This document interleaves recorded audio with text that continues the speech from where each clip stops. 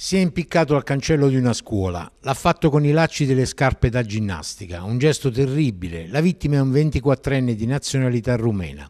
Il dramma si è consumato a Montesarchio, probabilmente nella notte. Il giovane, che lavorava alle dipendenze di un'azienda nel settore rifiuti, non era rientrato a casa ieri sera.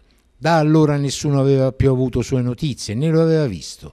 Lo hanno trovato questa mattina, una scena agghiacciante. Alcuni automobilisti transitando nella zona se la sono trovata dinanzi agli occhi. Non c'era più nulla da fare, inutili soccorsi, ogni tentativo di rianimarlo.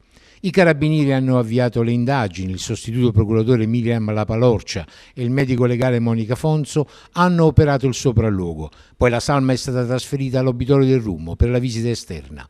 Nessun biglietto, nessuna spiegazione al momento per una tragedia, l'ennesima nella nostra provincia nel corso dell'estate. La scelta di farla finita, la disperazione che prende il sopravvento e ti toglie il fiato, per sempre.